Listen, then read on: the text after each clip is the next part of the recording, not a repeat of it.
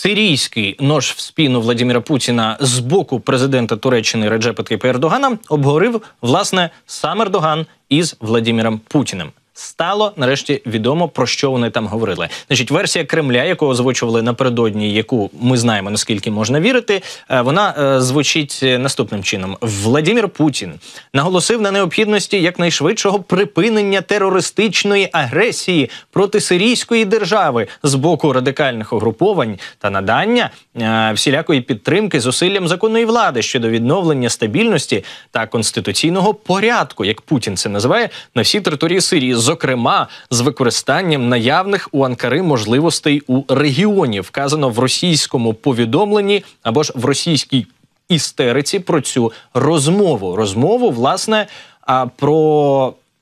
Те, що Ердоган, судячи з усього, просто натренував і відправив в Сирію е, ти скористався тисячі. цим часом, коли Росія зараз не може відправити туди е, Свій підкріплення. Так, е, власне, тисячі, якщо не десятки тисяч озброєних бойовиків, і ну, власне, в такий спосіб е, дружить з Путіним, який якраз йому добудовує е, атомну електростанцію за 22 мільярди євро, і хоче е, побудувати ще одну атомну електростанцію за 44 мільярди євро, вважаючи, що це зробить Туреччину залежною від Росії. Ну, поки все це відбувається, Ердоган робить своє, робить успішно. Вони вже захопили тисячі квадратних кілометрів території Сирії. Продовжують успішний рух. А ось що за версією турецької сторони, власне, сам Ердоган обговорював з Владимиром Путіним під час цієї розмови.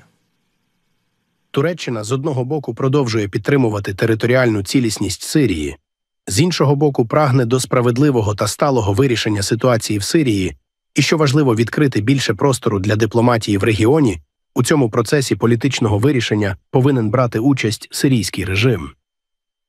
Ну, цікава історія. Мені здається, е, Ердоган в своєму дипломатичному чи то псевдодипломатичному репертуарі. Я сподіваюся, що е, вони всерйоз толком ще нічого не починали в Сирії. Ці повстанці, і ті приємні здобутки, які вони отримали, зокрема е, полишені азадівськими і російськими військами, е, радянські танки, російські танки. Вони дуже допоможуть у подальшому наступі на позиції Асада. І дійсно тут треба хіба що тримати кулаки за те, щоб е, режим Асада було скинуто і в такий спосіб послаблено е, режим так. Путіна. Забрано в них ще більше трофеїв. До речі, це ж послаблення не лише Путіна, але й Ірана, Ірану і 100%. цієї групіровки, яка це там все допомагає діяти. величезна е, третя світова Взагалі, війна. На сході це послаблення Росії. На це будуть звертати увагу. Я впевнена, так звані еліти Кремля. Ну бо як це взагалі можливо? І якщо побачать цей провал Путіна,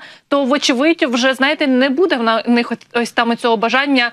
А, Скриїть весь мір, да як вони там говорять, е, стереть всіх в труху і таке інше. Ну тому що відбувається все зовсім навпаки, і Ердоган, от про що ми щойно слухали, так. заявляє, що з одного боку вони виступають за територіальну цілісність Сирії, з іншого боку, вони там мають робити свою справу. Але ж він е, подібні заяви озвучував і щодо України. Це також 100%. важливо в цьому контексті. Е, ми пам'ятаємо про те, що Ердоган використовує будь-яку війну для власного посилення. В нього свої імперські амбіції, але конкретно те, що відбувається в Сирії, це добре для нас. З іншого боку, Анастасія говорить е, про вплив сирійської е, ситуації на російські еліти е, як частину такої політичної, як політичну складову цієї третьої світової. Сирійські повстанці захопили новітню російську радіолокаційну станцію Падльот К 1 Фотографії оприлюднили на сторінці статус 6 у соцмережі X.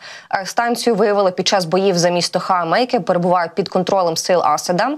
РЛС призначена для роботи з російськими комплексами протиповітряної оборони С 400 та С 300 ПМУ 2 Польотка 1 здатна виявляти цілі на відстанях від 10 до 300 кілометрів і на висоті до 10 кілометрів у низьковисотному, висотному, далекому та гірському режимах, а також видавати цільову вказівку на ЗРК.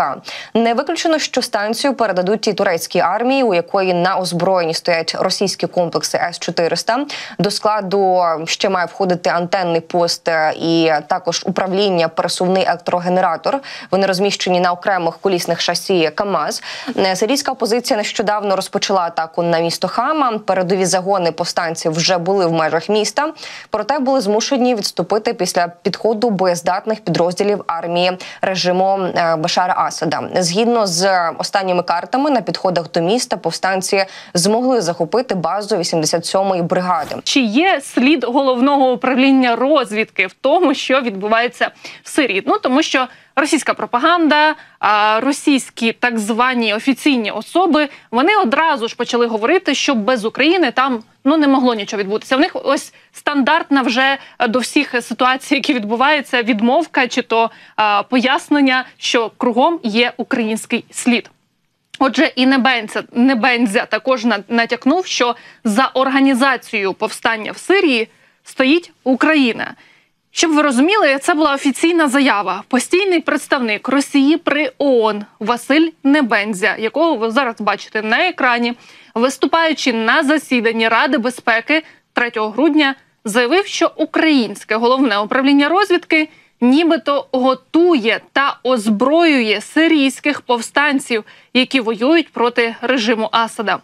Російський поспред, який постійно шукає нові шляхи для звинувачення України, вирішив, що ГУР має достатньо ресурсів і впливу, щоб організувати повстання у далекій для нас Сирії. Слова Небензі цитують російські пропагандистські канали. Е, Він заявив, що слід ГУР простежується в організації бойової діяльності, нібито угруповання Хаят Тагрір Аш-Шамам, яке в Росії визнано терористичним.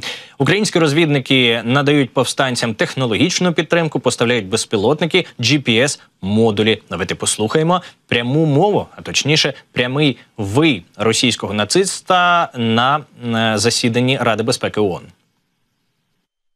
За наявною інформацією, підтримку терористів тією чи іншою мірою демонструють в першу чергу американці та їх союзники. Ми вважаємо, що в інтересах західних країн розвіяти всі підозри щодо їхньої ролі у цьому терористичному акті. У наведеному контексті хотілося б звернути особливу увагу на слід головного управління розвідки України в організації бойових дій та постачанні зброї бойовикам, що діють на північному заході Сирійської Арабської Республіки. Співробітники головного розвідувального управління України озброюють бойовиків в Ідлібі, в тому числі за допомогою дронів і кодованих gps модулів. Ну, ось так, сам того не очікуючи і, мабуть, вже не бажаючи, Невензя на увесь світ дав високу оцінку українській розвідці. Ну, молодець. Ми за це дякуємо, що і справді е, дуже він підтримує те, що роблять наші розвідники. Хоча знову Визнає, таки, принаймні. визнає так. Адже з його слів виходить, що ГУР це глобальна організація, яка має неабияку кількість ресурсів та висококваліфікованих спеціалістів, аби воювати на два фронти, захищаючи, по-перше, свою країну, Україну від агресії Росії, а ще й допомагати організовувати повстання в Сирії. Ну, якщо йому так буде від цього легше, ну то хай говорить, хай Йому не буде легше, тому що е, російська пропаганда побудована на тому, що Україна це нібито failed state, е, держава, яка ні сама нічого не може, ні на що не спроможна. Вони її вже давно перемогли, або принаймні от-от переможуть. І тут таке Україна мало того, що сама тримається, але і ще й проводить дуже потужний або стоїть за дуже потужним наступом сирійських повстанців на іншому кінці планети. Геніальна російській пропаганді зараз дуже складно, настільки складно, що Владимир Путін, судячи з усього ненароком, розкрив, оприлюднив цифри масового каліцтва серед росіян через так звану СВО. За його словами, у Росії щонайменше 250 підприємств денно і нощно працюють над виготовленням протезів для частково демілітаризованих окупантів. Але цих частково демілітаризованих стільки. Що навіть така кількість підприємств взагалі не, не встигає справлятися із завданням, яке ставить перед ними Владимир Путін: приділить мальчикам ручки обратно, щоб їх можна було знову вдруге і в ідеалі втретє, якщо буде потреба, закинути в жерло ворожої а, в жерло неспровокованої агресії проти України, в жерло війни. У нас сейчас э, У нас зараз 240 компаній. Працюють тисячі людей, спеціалістів багато, але недостатньо. Катастрофічно не вистачає. Тому зробимо програму підготовки. І Б, звісно, будемо тиражувати найкращі практики по всій країні. Без цього нікуди. Я для себе вважаю одна з найважливіших моїх особистих задач, щоб ви відчували себе на коні, попри всі складнощі і проблеми, які виникають. Ви, ваші близькі, дружини, діти. Проговорилися про втрати у війні і родичка Путіна, племінниця його Анна Цивільова. Заступниця міністра оборони РФ і згідно з даними змі, двоюрідна, як я вже сказала, племінниця російського диктатора Путіна. Так, от вона заявила, що щонайменше 48 тисяч росіян пропали безвісти на війні, яку той розв'язав проти України, і це тільки пропали безвісти. Скільки ж насправді не повернулися і ніколи не повернуться до Росії, то там значно і значно більша цифра. По поводу ДНК. Сейчас мы уже всех, кто заключает контракты с Министерством обороны, берем букальные эпителий и э, сохраняем у всех. А, поэтому многие субъекты, у нас есть 25 субъектов, которые не просто а, мы вот берем эпителий, они профинансировали, стоит 1400 рублей, а, которые расшифровывают уже даже этот букальный эпителий и заносят в базу МВД. Ксенон. Поэтому вот такую работу мы уже ведем. Это важно. Родственники ДНК, я уже сказала, мы все берем. Они сдают бесплатно. У них принимает а, это МВД абсолютно бесплатно за свой счет делает и также в свою базу вносит. Всех родственников, которые к нам обратились. Я уже сказала, 48 тысяч. Это тоже ведется. А, совмещение работы спасибо. А, Дома ветеранов не возражаем. А По поводу призывников. А, Призывников, чтобы наделить а, статусом ветерана боевых действий, они что, ввели боевые действия? Да, Курск, в Курске. Іронія полягає в тому, що ця, значить, племінниця Путіна запитує: а срочники, вони що где-то воювали? А їй відповідає е, інший учасник засідалова: ну да, на Курщині. А відповідає племінниця Путіна. Але тут що важливо, її обірвали після цієї, е, цієї заяви, після цього моменту. Їй почали ставити її на місце і говорити про те, що взагалі-то вона розкрила велику таємницю Путіна, Шойгу і Білоусова. Ці дані не можна було оприлюднювати. Послухайте. И- Единственный один момент, коллеги, вот здесь вот она Герин цифры называла, а, в том числе вот без вести отсутствующих, я бдительно прошу, этими цифрами нигде не фигурирует. Это, это такая закрытая информация, достаточно чувствительная. И э, вот когда будем документы составлять, только тоже там, чтобы эти цифры нигде не Да, плавали. Александр Ильич, просьба. Ну, мы в любом случае посмотрим, еще и комитет по обороне тоже посмотрим. Здесь вопрос такой очень чувствительный, надо все острые углы нам обойти. И что касается э, ветеранов боевых действий, мы подготовили с э, депутатами и направили в правительство, наш законопроект находится в правительстве с, с группой, под группой Вяткина готовили, находится в правительстве, пока заключение мы не получили, но мы надеемся, что для той небольшой категории, ну, так, э, такой статус надо. Пожалуйста. Подождите еще минуточку, я скажу. Я назвала цифры не пропавших, а обращений к нам. Многих они найдут. Поэтому это цифры именно обращений, а не статистика. Картополов зажог і мені здається, поставив хрест, можливо, на своїй кар'єрі, а пішовши е, в гризню із племінницею Путіна. Нагадаю, це очільник так званого оборонного комітету Госдуми. Що мені здається, тут е, де брехня закопана, власне, в цифрах 48 так тисяч вона назвала. Це. Е, Мало ймовірно, тому що здається, президент Зеленський приблизно подібні цифри по зниклих безвісти в Україні озвучував в Росії. Загальна кількість е, знищених та або ліквідованих окупантів 745 тисяч і більше. Ну і відповідно. Є відчуття, що зниклих безвісти там можуть бути не десятки тисяч, а сотні, якщо не понад мільйон. Радники Дональда Трампа публічно і приватно висувають пропозиції щодо припинення війни в Україні, які в осяжному майбутньому призведуть до відходу значної частини країни до Росії. Згідно із аналізом їхніх заяв та інтерв'ю з кількома людьми, близькими до новообраного президента США.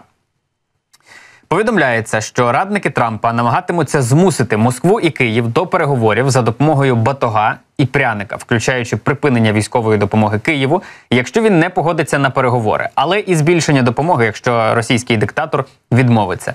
Згідно з аналізом пропозиції трьох ключових радників, у тому числі спецпредставника Трампа з питань російсько-української війни Кіта Келога, мають спільні елементи, зокрема, зняття з порядку денного питання про членство України у Північно-Атлантичному альянсі. В сукупності заяви його радників дають уявлення про потенційні контури такого собі мирного плану Трампа. Президент України Володимир Зеленський, який стикається, як пишуть Reuters, з нестачею людських ресурсів і зростаючими територіальними втратами, дав зрозуміти, що він може бути відкритий до відкритий до переговорів, незважаючи на те, що він все ще має намір вступити до НАТО. Цього тижня він заявив, що Україна повинна знайти дипломатичні рішення для повернення деяких окупованих територій.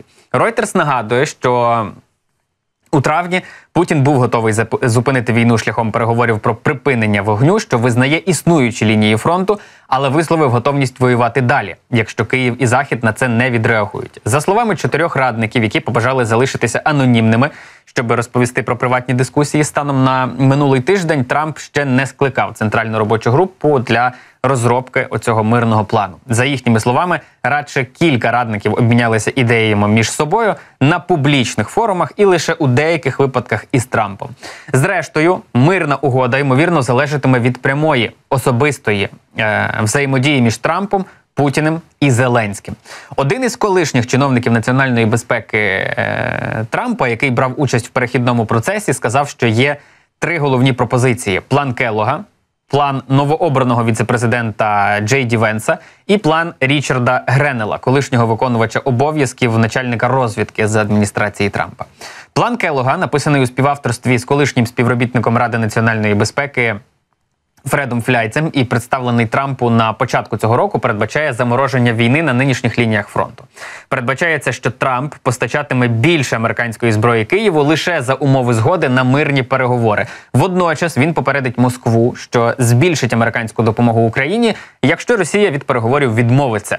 Членство України в НАТО натомість буде зупинено призупинено. Україні також будуть запропоновані американські гарантії безпеки, які можуть включати збільшення поставок зброї після укладеної угоди згідно з цією пропозицією. Венс, який як сенатор виступав проти допомоги для України, у вересні висунув окрему ідею. Він сказав американському подкастеру Шону Райану, що угода ймовірно включатиме демілітаризовану зону на існуючій лінії фронту, яка буде сильно укріплена, щоб запобігти подальшим російським вторгненням. Його пропозиція відмовила б Києву у членстві в НАТО взагалі. Гренел, колишній посол Трампа в Німеччині, виступав за створення автономних зон на сході України під час круглого столу е, з журналістами, який відбувався влітку. Але він свою пропозицію не деталізував. Він також припустив, що членство України в НАТО це абсолютно не в інтересах Сполучених Штатів.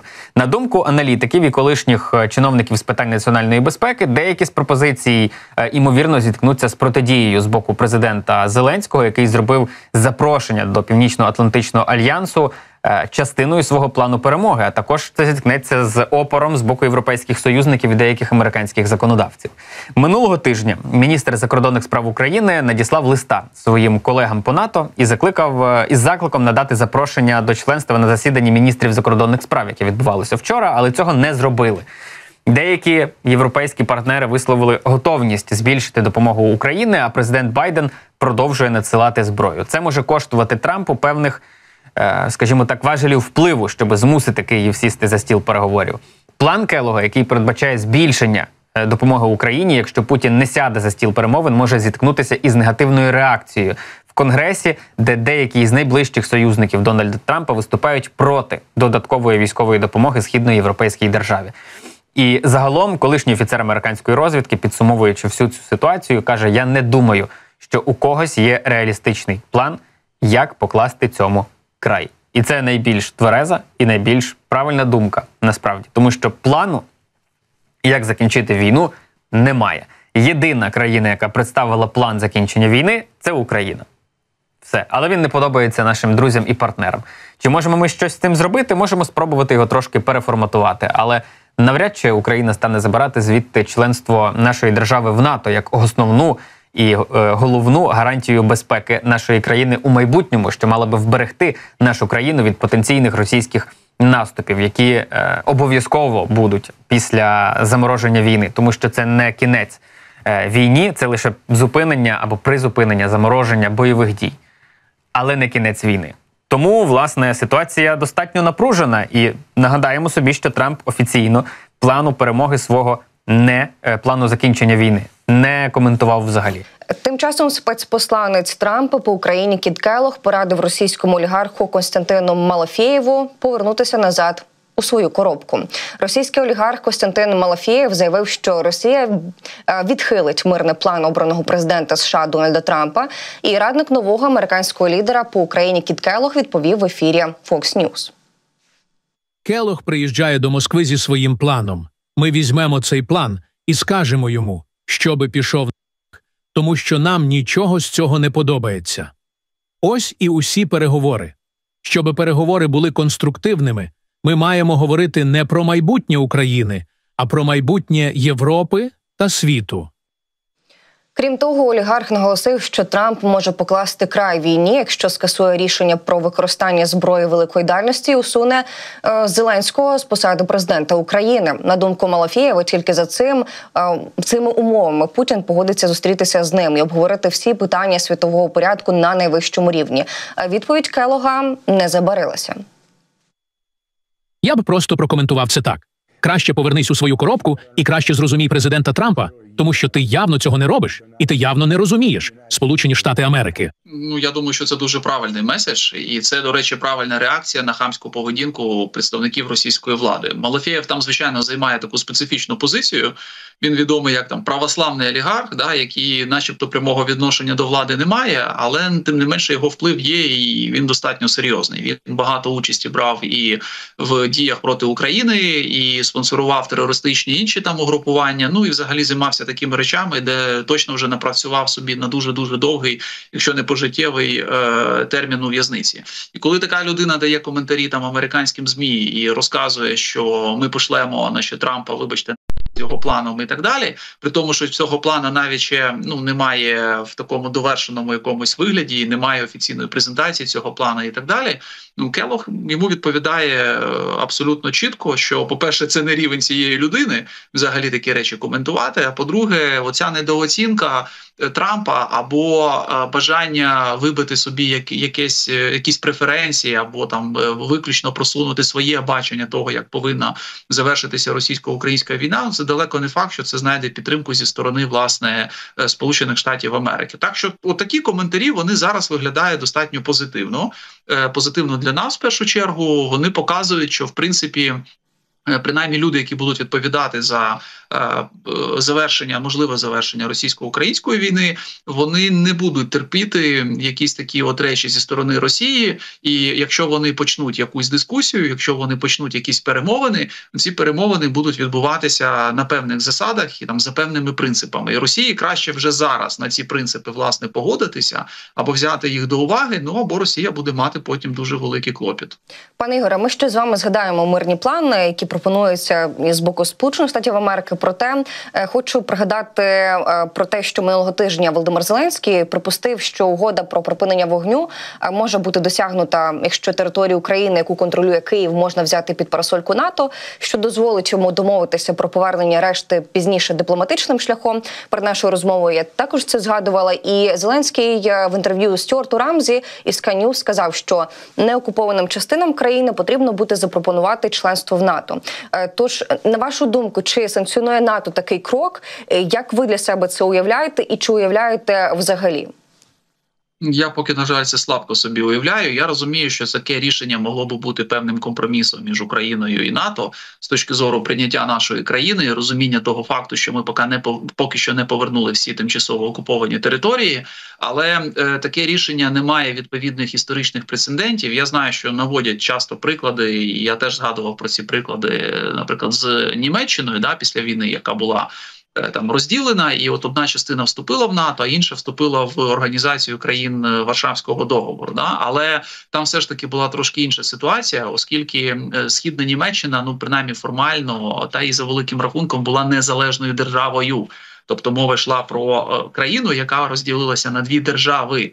В Україні ніякої другої держави не існує. Є просто тимчасово окуповані наші території, там тимчасово захоплені Російською Федерацією, і це дуже важливий якраз от момент, який поки не дає ну розуміння, як взагалі цю угоду, ну точніше, цей підхід можна буде реалізувати на практиці. Ну і ще один момент: знаєте, коли ми згадуємо про такий варіант, ми ж не знаємо, якою насправді буде реакція Російської Федерації, тобто як вони на це будуть реагувати, і чи чи ну питання не в тому, що вони погодяться чи ні. Ми не будемо питати в них, скажімо, дозволу на це. Да, питання на які неадекватні погрози вони підуть в бік альянсу, власне, для того, щоб це зупинити. Тому оптимальним варіантом є нормальна, якби інтеграція е, України до альянсу. Ну і розуміння того, що альянс ставить, наприклад, там перед тією ж Російською Федерацією ультиматум, що звільняйте всі території. Ми Україну беремо в альянс, е, беремо. Ну окей, зараз ви не звільнили, але ми вже Україну взяли. Вже п'ята стаття починає діяти, і ви точно не зможете просунутися там надалі.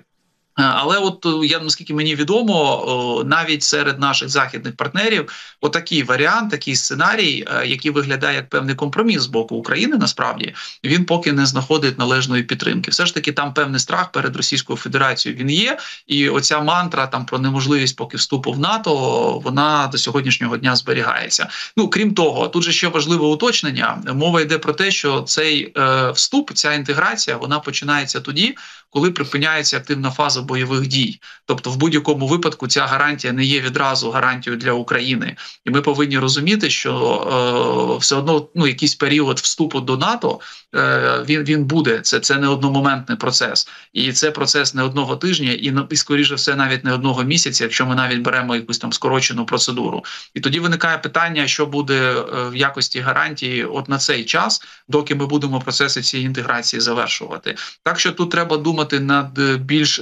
деталізованим, мабуть, планом, який буде передбачати спочатку одні кроки, які тактично гарантують е, безпеку України, а потім вже думати власне про стратегічний крок, яким безумовно є інтеграція в альянс.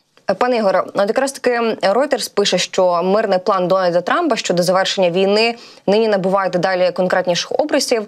І видання зазначає, що один із колишніх працівників служби національної безпеки Трампа сказав, що є три основні пропозиції.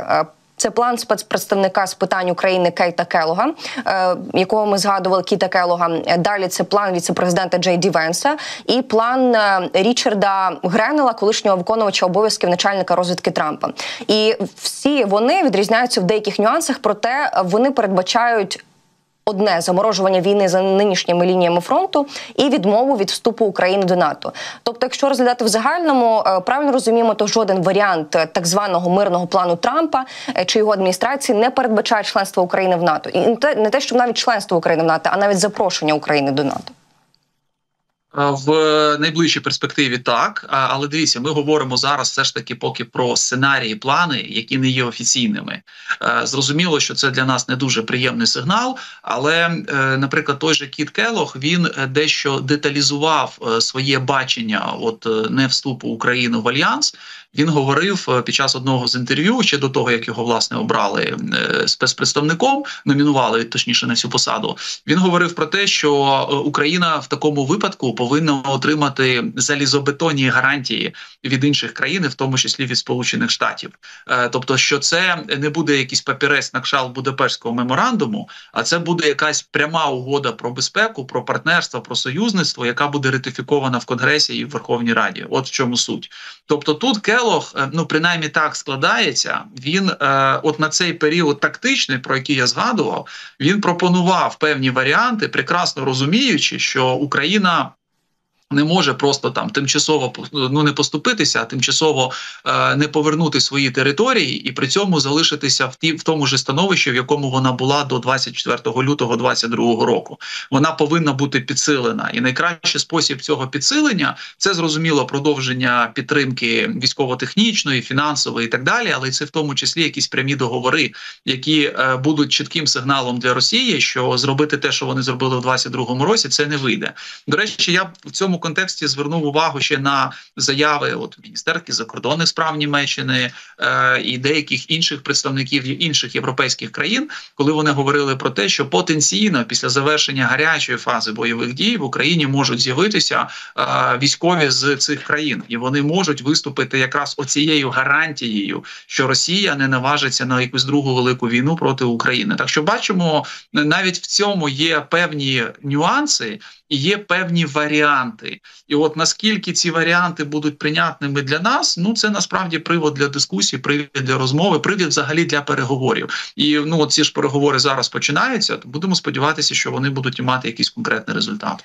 Пане Ігоре, але водночас ми бачили заяву від е, Міністерства закордонних справ України про те, що Україна відмовляється взагалі від альтернативних до е, членства у НАТО гарантій, і вони сказали нещодавно, що ми переконані, що єдиною реальною гарантією безпеки для України також стримуючий фактор для подальшої агресії Російської Федерації проти України та інших держав є лише повноправне членство України в НАТО. Але знову ж таки, повертаючись до того, що ми з вами говоримо, Поки що на даний момент це фактично неможливо зі слів е, і наших партнерів, і не тільки. І також ви згадували Будапештський меморандум. Е, сьогодні я бачила заяву від пана Подоляка, Михайла Подоляка, радника голови офісу президента. Він сказав, що е, Будапештський меморандум по суті був однією з найчудовіших історій брехні в сучасній історії людства. І документ не працював, і це розуміли всі, хто його підписував. І це факт. Пане Ігоре, про Приємне з вами поговоримо, тому що Сполучені Штати Америки планують передати Україні допомогу на всю суму в 61 мільярд доларів до кінця терміну Байдена. Про це сказав держсекретар е, Блінкен, і він сказав, що ми маємо намір, е, це моє прагнення і намір президента використати кожен цент наявного фінансування у розмірі 61 мільярд доларів, щодо яких був отриманий дозвіл конгресу у бюджетному е, доповненні, який був ухвалений ще навесні 24-го року. Проте чи є ризик? Того, е, що цю суму не встигнуть передати, і якщо не встигнуть передати, то що тоді з цими е, мільярдами відбувається, відбудеться? Ну, дивіться, ризик є, і не хотілося б, щоб він був реалізований на практиці, тому що якщо ці гроші підвиснуть, ну є висока ймовірність, що вони вже в Україну не потраплять. Е, Там же в них почнеться якесь списання, закриття фінансового року. Потім вже офіційно на посаду вступить Трамп. Е, чи буде він передавати залишки цих коштів? Давайте відверто це ж питання відкрите. Насправді з великою ймовірністю ні. Так що їм треба зараз активізуватися адміністрації Байдена. Є ще грудень, є ще частина січня. В принципі, можна встигнути це зробити, або принаймні вкласти ці гроші в ті програми е, за лінією, наприклад, там Пентагону, які будуть реалізовуватися і в січні, і в лютому, і можливо навіть в березні. Тобто вони вже будуть профінансовані, і Пентагон просто буде це передавати по е, попередньо укладеним контрактам, попередньо е, укладеним якимось договорам, які там є між Сполученими Штатами, наприклад, Україною. Взагалі, ну таке бажання ініціатива. Байдена вона ну точно похвальна. Е, видно, що він хоче ну як мінімум виконати всі взяті на себе зобов'язання, е, ну, більш так красиво, скажімо, піти да з, зі своєї посади. Ну будемо сподіватися, що просто бюрократичний апарат він не зупинить е, ці процеси, і тут якраз. Ну може, от цей перехід влади спрацювати в плюс. Да? Тобто, оскільки демократи, поки ці процеси контролюють, вони навряд чи захочуть щось залишати Трампу, давати йому додаткові якісь там приводи для подальшої критики, і ну можуть спробувати цю допомогу Україні оперативно передати. Ну або виписати її таким чином, щоб вона надходила і в наступному році, але точно до України доходила у вигляді ну конкретної техніки, боєприпасів і всіх інших речей, які нам потрібні. У Трампа зараз, от ці кілька місяців, тобто два місяці там е, до інавгурації, інавгурації до 20 січня будуть чекати все ж таки на інавгурацію? Чи вони вже будуть намагатися зараз вступати в ті чи інші перемовини, зокрема з нашим ворогом? І можливо навіть це буде відбуватися дійсно через посередників з інших країн? От е, і тут повертаємося до того, що Трамп 7 грудня їде до Франції. Я впевнений, що вони вже це роблять. Мало того, вони публічно заявляють, зокрема, звернулися до там ситуації е, в Лівані, в секторі Газа, і звернулися до всіх учасників цього конфлікту з тим, щоб на момент інаугурації Трампа там все було тихо і спокійно щоб конфлікт, який мав е, в принципі була перспектива, що він просто зірве весь близь, близький схід, вже зараз публічно а, говориться про те, що є очікування, або інакше вам мало не здасться. Приблизно такі сигнали поступають від команди Трампа, що або до 20 січня там ви досягаєте перемир'я, е, гасите це полум'я, або ми будемо його гасити і будемо його гасити так, що е, ну. Настільки рішуче, що ви ще подібного нічого не бачили. Це по відношенню до е, близького сходу. По відношенню до Росії, ми вже з вами теж бачимо, як реагує Росія. Е, новопризначений е, е, радник. Е, з питань України і Росії, де в Росії вже з'являються публікації, що слухай, ти приїдеш в Москву зі своїм планом, ми тебе пошлемо на три літери, і і, і, це публічно викидається інформаційний простір Росії, що ми не збираємося. Нас цей план не влаштовує. А план взагалі то виражається в тому, що мають бути поступки і, і з боку е, Росії, і з боку України, навіть без деталей, е, навіть заморозка, тобто зупинення цієї бойових дій по лінії актуальні, тобто те, що весь час говорили росіяни з урахуванням реалій. Навіть таке формулювання зараз не сприймається в Росії, і тому е, Росія займає дуже войовничу, агресивну таку недипломатичну позицію, що не треба навіть до нас їхати. Ми на це ніколи не погодимося, тому що Путіну здається, що він досягає військових успіхів. Тому я впевнений, що ці контакти вже йдуть і йдуть по різних лініях. Там є багато гравців в команді Трампа. Нас не завжди це радувало, але поки що ми бачимо е, особистісний виклик Трампу, який стверджував, що коли він стане президентом, то його авторитет, зокрема його. Він наполягав дуже гарні стосунки з Путіним, дозволять зупинити оце страшну ситуацію, де гинуть і росіяни, і гинуть України буквально за один день.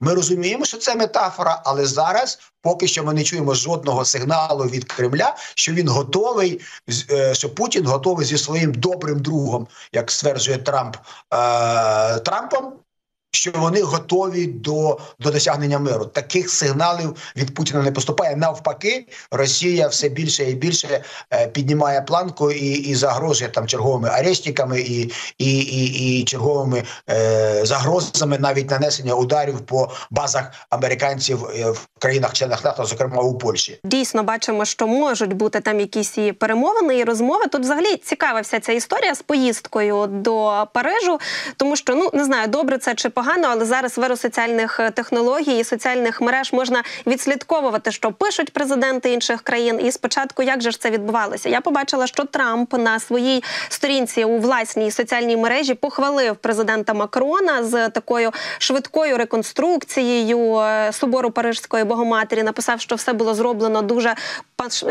ну, добре. Що значить великі реконструкції дійсно повернули собор. Потім Макрон відреагував на цей пост, запросив теж у соціальній мережі Трампа відвідати відкриття цього собору вже після реконструкції. Е, команда Трампа не одразу погодилася. Потім, зрештою, вони сказали, так, ми приймаємо це запрошення, ми приїдемо е, на відкриття. І от мені цікаво, чи знаєте ви, можливо, там будуть лідери інших країн? Е, якщо так, то хто саме і з ким там ще може за лаштунками Трамп зустрітися?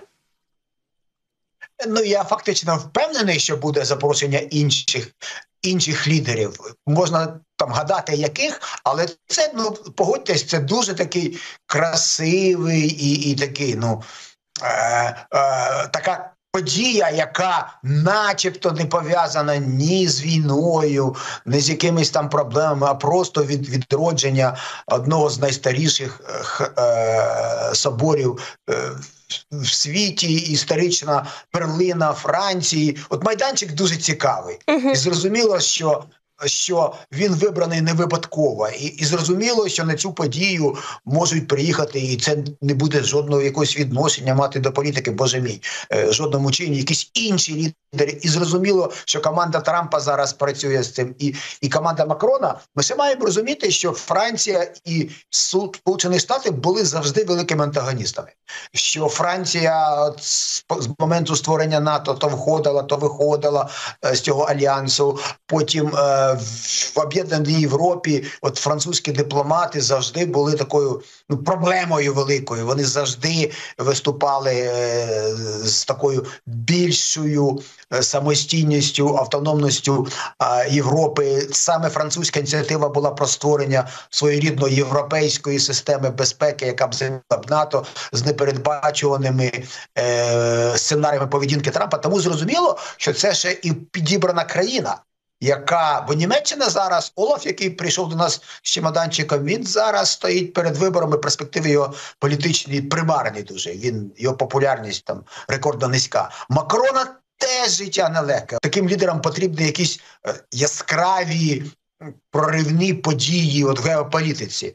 І ця можливість це, по-перше, перший візит Трампа. Ну, ясно, що він ще не, не коронований президент, але всі розуміють, що це вже доконаний факт. Це дозволяє Трампу бути там вільнішим. Він не так обмежений якимись там публічними заявами. А він ніколи цим не переймався. Але загалом подія буде дуже непересічна, і це можливість. Європейським політикам, і зокрема е, в тому складі, в якому вони будуть обговорювати е, міністри закордонних справ питання НАТО, зокрема ще підняти перед Тра- Трампом питання перспективи НАТО. Бо ви пам'ятаєте, що е, Трамп е, погрожував, е, що він виведе Сполучені Штати із членства в НАТО, але насправді, як він казав, він вимагав, щоб е, країни-члени НАТО і Європейського Союзу несли відповідні військові витрати, а не е, відчували себе безпечними за рахунок Сполучених Штатів. Тому цей візит в усіх відношеннях е, він е, вчасний, він дуже красивий з точки зору. Е, Ну, самої картинки події, самого опису події, і, і він вчасний, бо це відбувається до задовго до 20 січня, і вже зрозуміло, що на, на, на, на особистих двосторонніх зустрічей лідери країн європейських і Трамп будуть говорити саме про майбутню конструкцію світової безпеки після його е, інаугурації. От ви сказали, що, начебто, така не політична зовсім подія, не військова подія, там не саміт, не зустріч е, вищого військового Ага. керівництва. Але ми ж розуміємо, що і Трамп туди не круасани їде куштувати. Тобто, ми розуміємо, що саме на таких зустрічах е, говорять от про важливе. І дійсно, я думаю, там будуть говорити і про Україну, і про війну в Україні. Ну і мабуть, і про Путіна теж згадають. Бо ми розуміємо, що час до інавгурації. Трампа спливає. Ну а там же ж ми пам'ятаємо цікаву заяву про закінчення війни. Тож мені здається, що найцікавіше ще попереду. Так, я абсолютно в цьому впевнений. Я абсолютно в цьому впевнений, і це насправді е, ну важлива подія, бо важко було собі уявити, а який там може бути ну.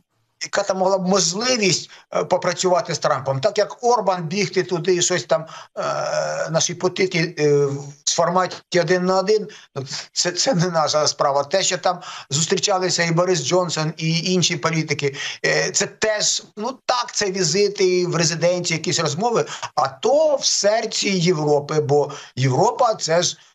Вона Франція в історії там новітньої Європи відіграє важливу роль встановлення демократії, ці знамениті лозунги французької революції. Це, це все дуже символічно. І, е, і те, що Трамп сюди приїжджає, дозволить йому у цьому неформальному е, статусі реально проговорити, відчути напряму і, і європейським лідерам донести позицію Європи і спробувати е, підготувати до того, що не буде якихось несподіваних кроків після нового року. І дійсно Україна не може не бути е, присутньою на цих розмовах, тому що для Трампа це особистісний виклик. Він дуже багато уваги приділяв, дуже багато разів повторював, що тільки він може зупинити всі війни в цьому світі, і, і тільки він може посадити за стіл там президентів України і, і, і Росії, і, і зупинити цю війну. І причому він сказав, що це буде справедливий мир, бо це дуже важливо. Мир мог бути різним. Він сказав, що умови Путіна, які Путін заявив там е, напередодні, е, вони є неприйнятні, несправедливі.